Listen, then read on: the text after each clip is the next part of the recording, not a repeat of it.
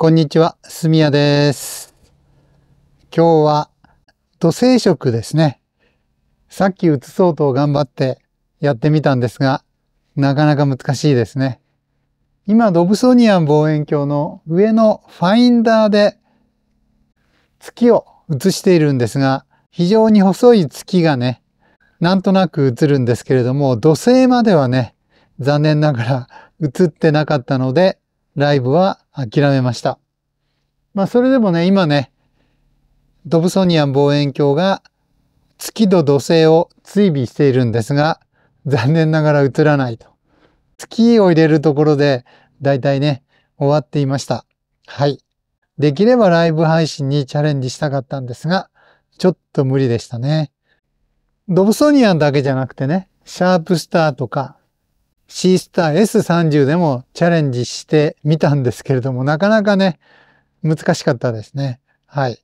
昨日はですね、このドワーク3で UFO 追跡モードでね、飛行機を何機か連続で捉えることができました。UFO 追跡5連発、ぜひご覧ください。どうぞ。